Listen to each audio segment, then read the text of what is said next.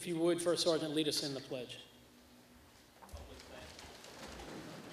I pledge allegiance to the flag of the United States of America and to the republic for which it stands, one nation, under God, indivisible, with liberty and justice for all. If you would, please remain standing for the prayer.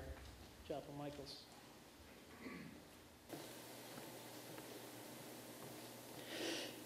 Lord, we come to you tonight uh, remembering those of our brothers and sisters here and around the country who have sacrificed so much that they might serve their brothers and sisters who live in their communities.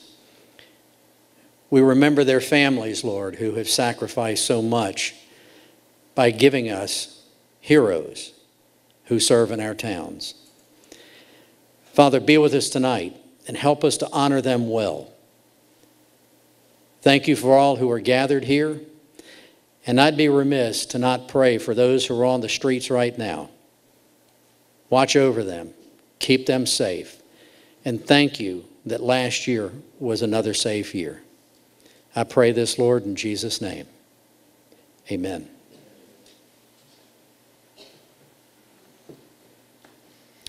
And now, if you would remain standing for the national anthem. Deputy Coyle.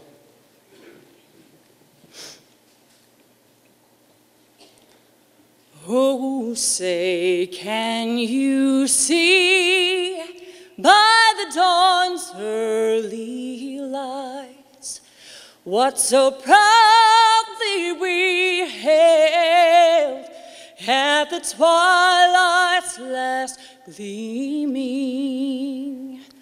Whose broad stripes and bright stars through the perilous fight?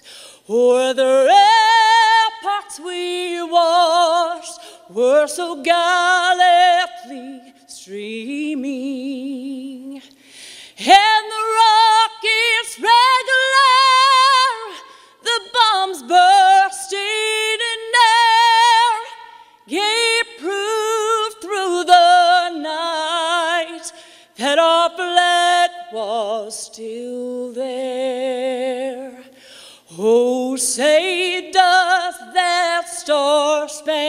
star-spangled banner yet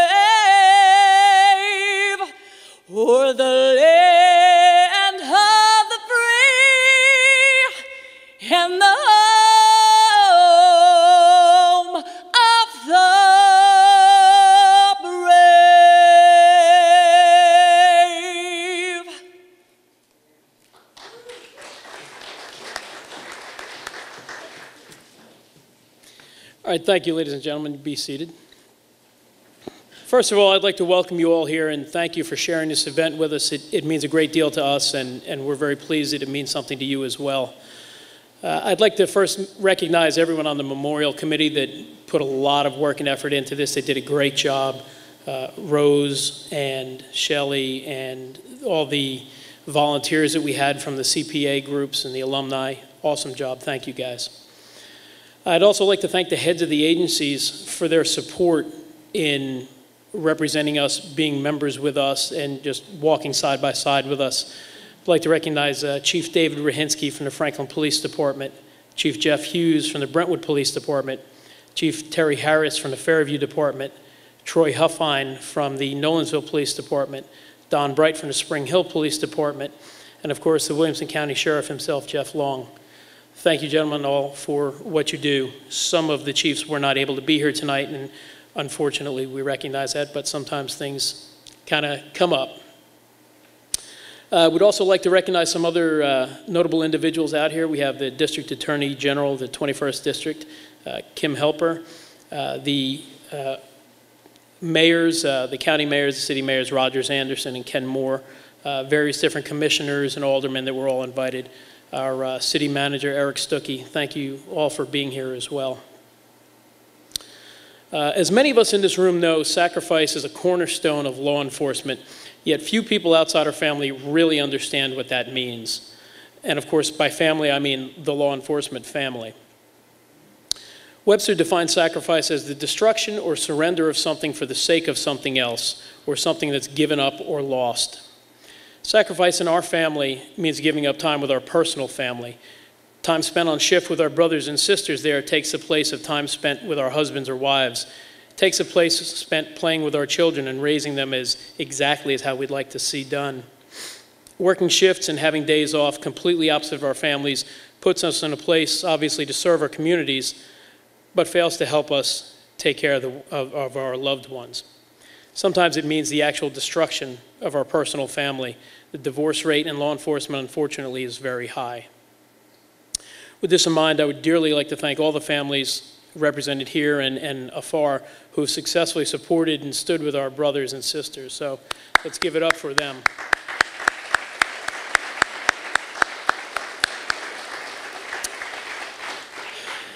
Not only do we as law enforcement officials sacrifice relationally, we also sacrifice personally. Our physical, emotional, and mental health sometimes bear the scars of our beloved profession. Drug and alcohol abuse are rampant in our family, and we ignore it because it makes us uncomfortable to deal with. Injuries sustained in the line of duty can lead to prescription painkiller abuse, an inability to deal with horrors that we experience on, with regularity. Sometimes we even joke about in an attempt to deal with lead to alcohol abuse that we use to numb ourselves to what we've seen and experienced. The ultimate sacrifice in our family is the giving of our lives for the sake of someone else. We're here to honor the men who have gone before us and given their lives for that in which they believed. Oftentimes, our fallen brothers are recognized as heroes because how they've given their lives. I prefer to recognize them as heroes because of how they lived their lives. A life of service is an honorable thing, but what happens when that honorable servant needs help? All too frequently, we refuse to see the distress signs our brothers and sisters are throwing up, throwing out. Not one of us here would refuse a call for backup for an officer in distress, but when we see personal lives careening out of control, we don't want to get in, involved. We don't want to interfere because of how it would look or how it could be perceived. Far too often, and more and more often, our brothers and sisters are taking their own lives because there is no hope in their minds or hearts no hope that things will ever get better, and so they act with finality. Not many people will call our excommunicated brethren heroes because of how their lives ended, but would rather shun them. Again, I prefer to remember them as how they lived their lives and the various feats they accomplished. Our brother Rob Michaels, the Fraternal Order of Police state chaplain, has created a nonprofit organization called Serve and Protect that offers hope to the hopeless before they commit that act that can't be undone and solace to the families of those he didn't have a chance to help. If anyone is interested in learning more about Serve and Protect, Rob will be more than happy to discuss it with you afterwards. Today, when we honor those fallen in the line of duty, let us also remember those who felt no hope, who could stand their existence no longer, and also gave the ultimate sacrifice. Now, enough of me. It's my pleasure to introduce our keynote speaker for the evening, Keith Moses. Moses. He's the Assistant Special Agent in charge of the Memphis FBI Field Division and Keith is currently assigned to the Nashville Resident Office and supervises all criminal investigations and matters of national security in the Middle District of Tennessee.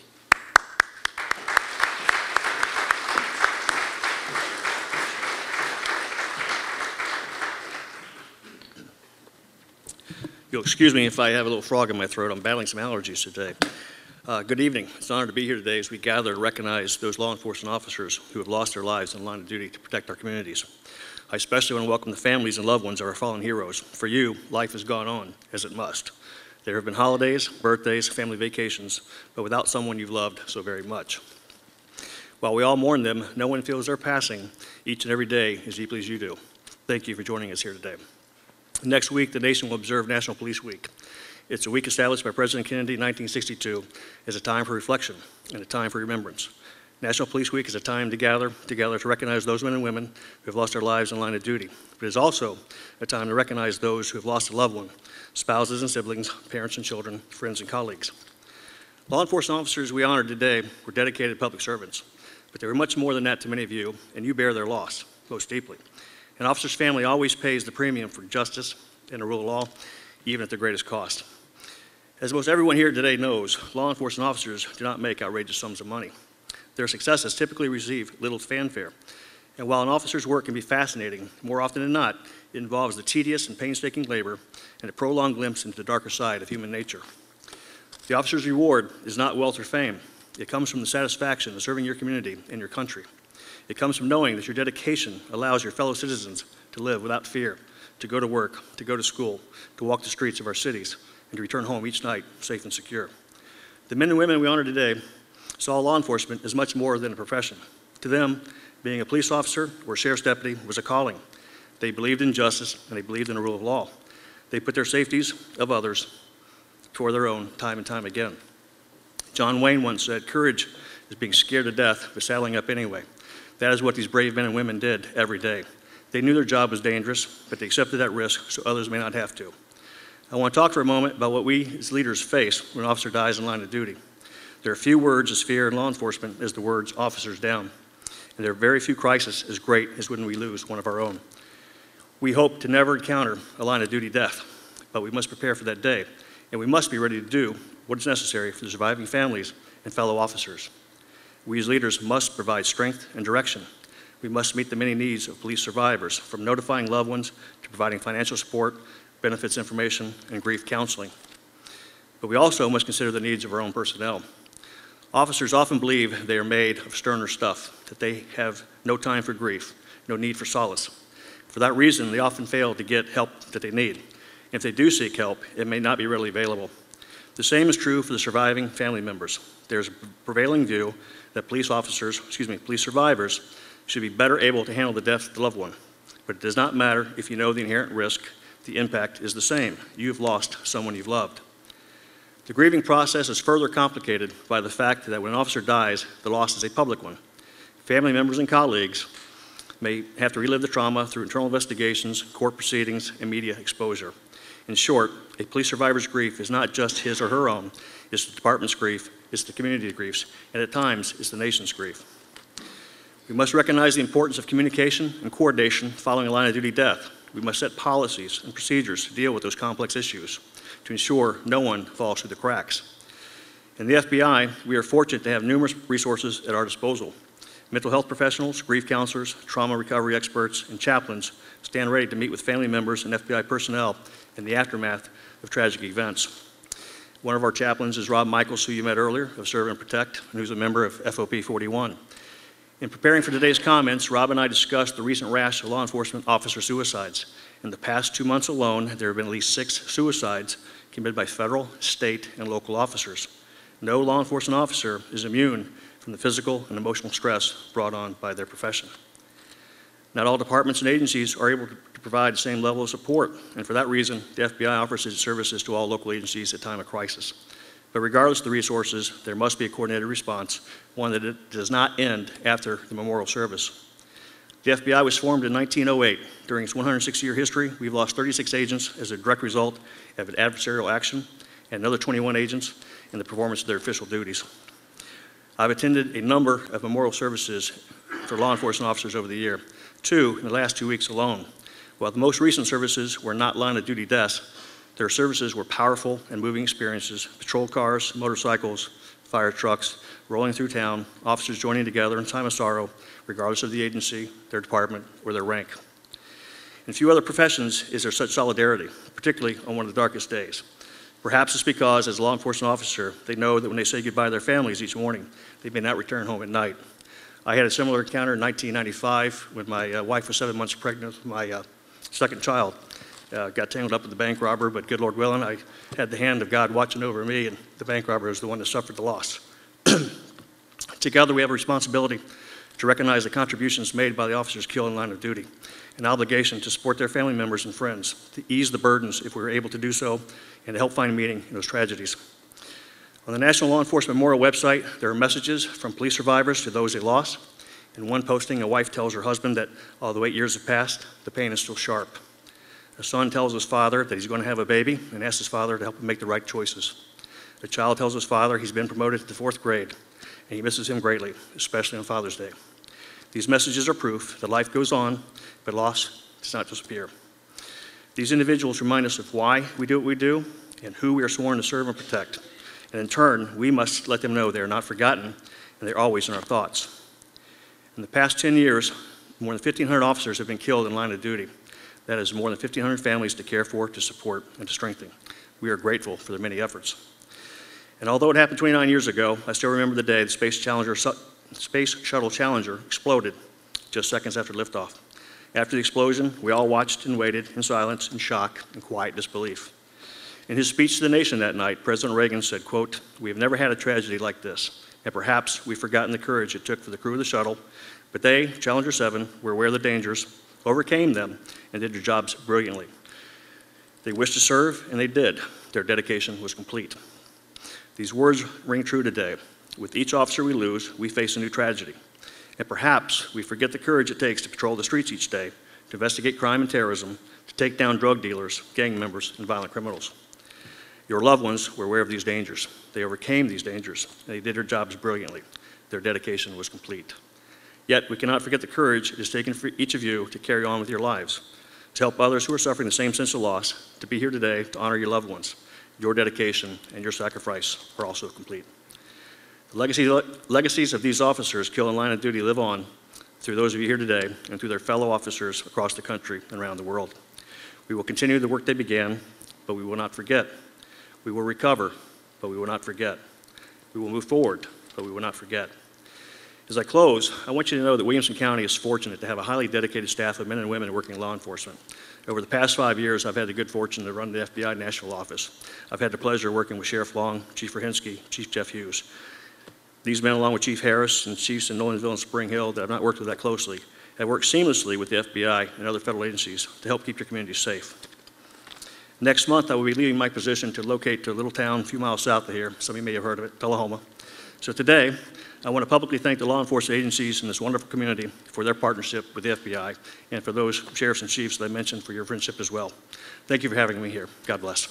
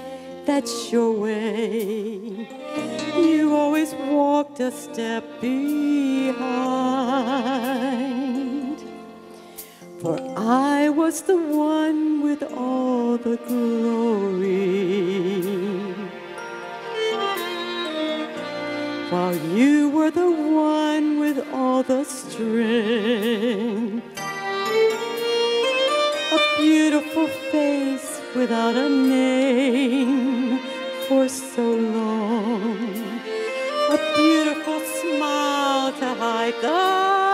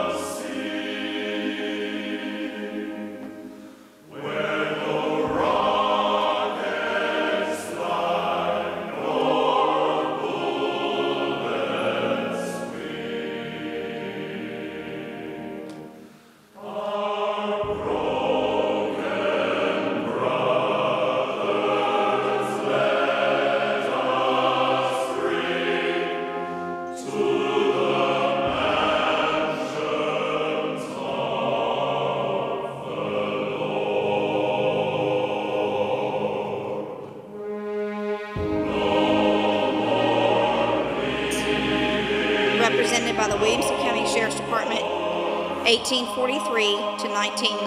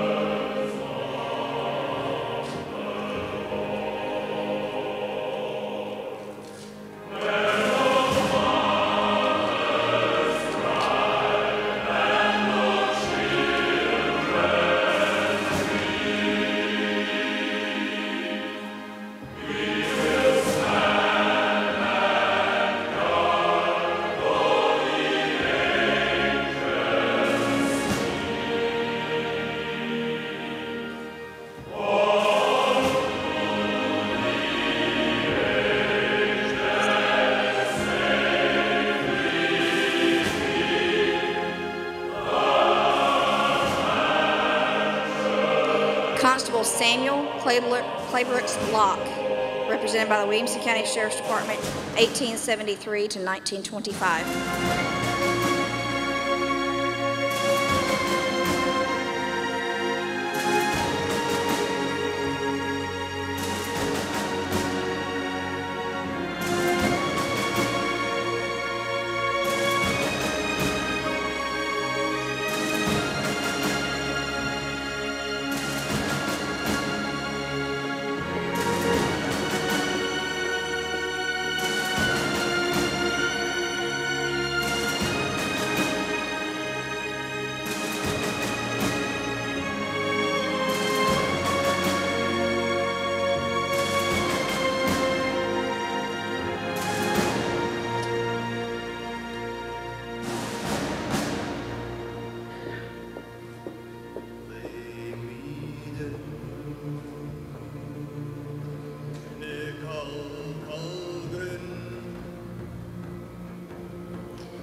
Constable Andrew Mattinson Sullivan, represented by the Williamson County Sheriff's Department, 1887 to 1933.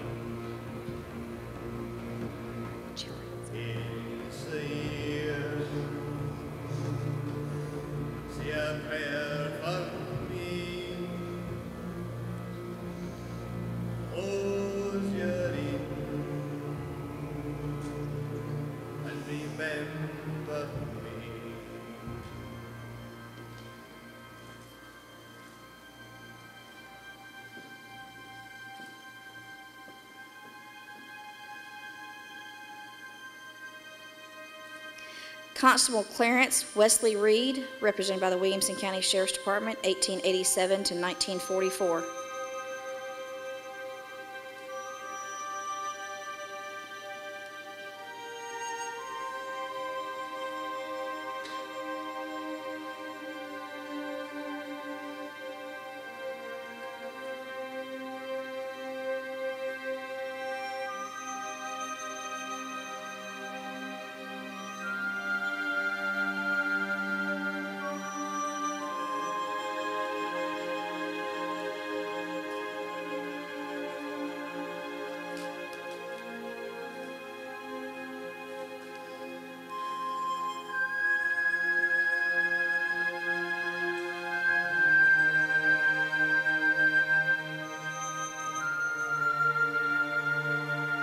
Deputy Sheriff John Morris Hethcock, represented by the Williamson County Sheriff's Department, 1940 to 1972.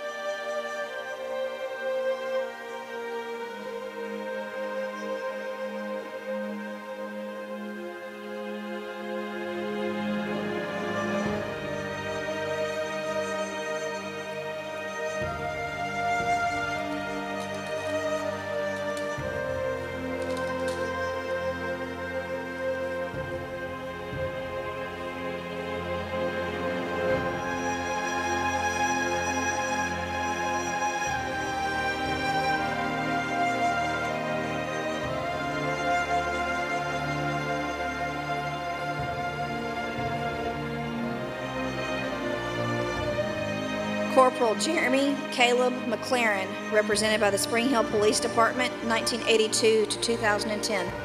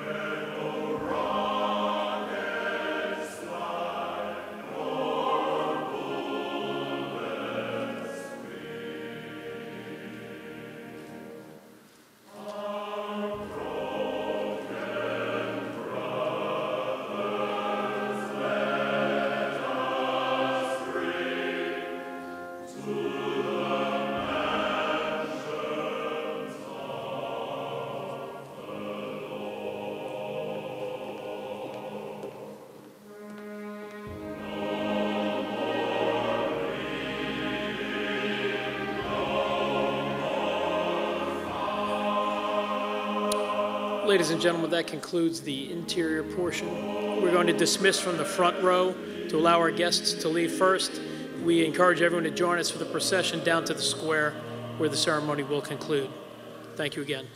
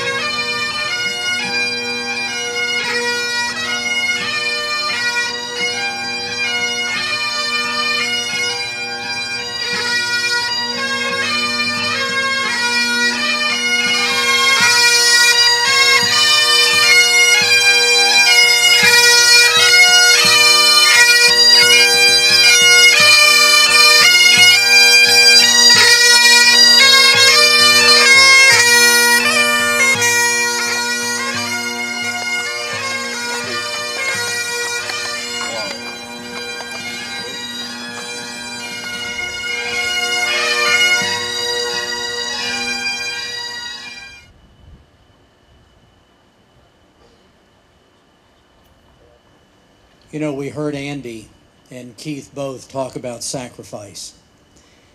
The Bible tells us that no greater love can a man show than he lays down his life for a friend. You know, our brothers and sisters die not necessarily laying down their life for a friend. In fact, many times we all wonder why did they have to die at the hand of somebody as bad as that? Well, there is a role model. Jesus laid down his life for people that were pretty bad. In fact, we're all bad, apart from his work. So for our heroes that died by the hand of somebody that was bad, they follow the role model of Jesus himself. Let's pray. Father, we thank you for the service tonight. We thank you for the memories of these brave heroes that laid down their lives for this community. Lord, we are truly grateful that we did not lose anybody last year. And Father, I pray your hand of protection on all who work in this county and around our country, that we would not lose another. Thank you for this time and for being with us. In Jesus' name, amen.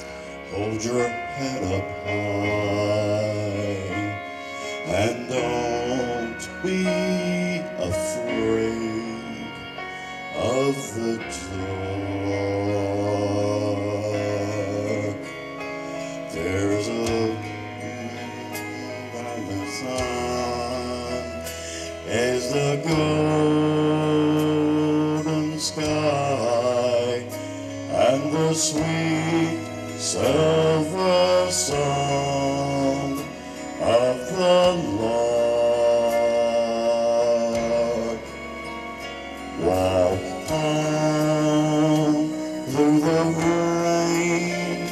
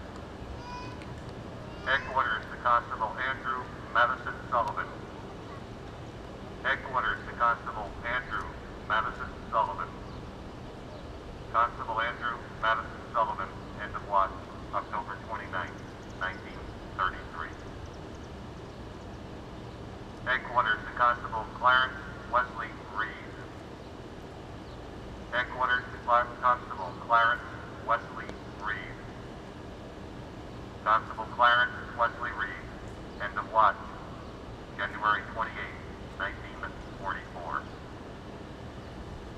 Headquarters to Deputy Sheriff John Morris Escott.